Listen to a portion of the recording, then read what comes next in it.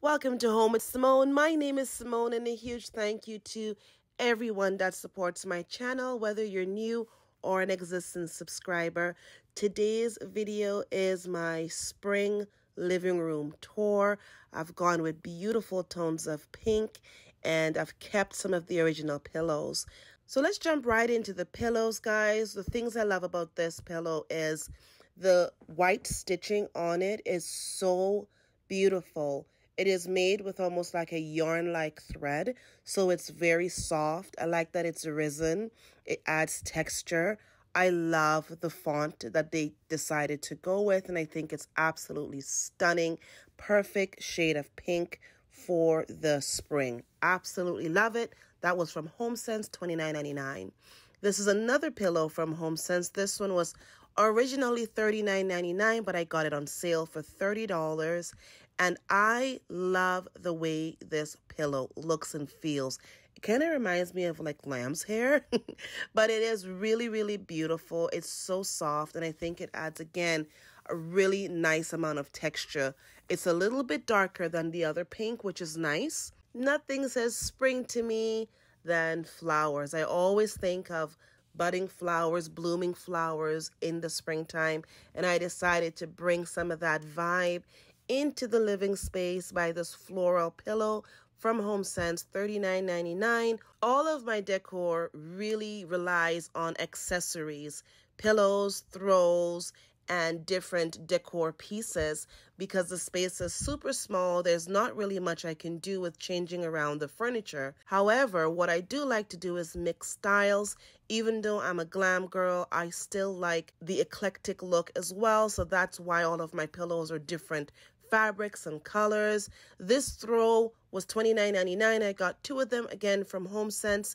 Really love the feel of it. I like that fluffy, real warm and cozy sort of feel and look. And I love having different textures in a space. Over here, we have my plant going strong three years now on my glammed out Lazy Susan that I got from HomeSense for $29.99. So if you guys had seen my previous living room tour, and I'll link it, these are two stools that I have one on top of each other. That was my coffee table legs for my DIY. On the coffee table, I pretty much stick to kind of the same sort of feel. These candles you guys would have seen in almost every part of my home. The newest piece is this really beautiful kind of rosette or rose style floral candle. It actually has a scent. I don't plan on lighting it, but it has a very nice light smell to it really, really, really gentle. Um, so I'm not really sure if you like that, just how strong it would be, but I love it. It's so beautiful.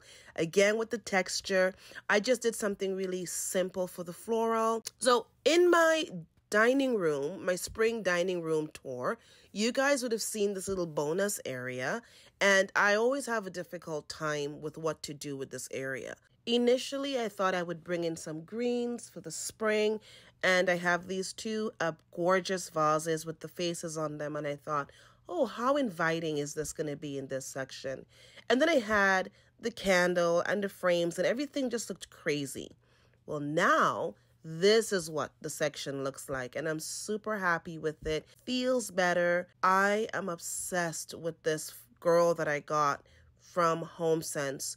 $29.99 is what I paid. And I feel like she looks like something from olden times, something that someone found when they went diving and pulled her up and she's got all of this history to her. I just really really love her. I love the way that she looks. I love the way that she feels. And I think she fits the space really beautifully and it doesn't feel or look heavy or overwhelming. And she compliments my glam, which is really shocking considering she's absolutely not a glam girl herself. this is what the total space looks like. And if you guys haven't seen my dining room tour, that's also done in blush pink. So check that out. I will link it in the description box below. Thank you so much for hanging out with me today. I'll see you all in the next video.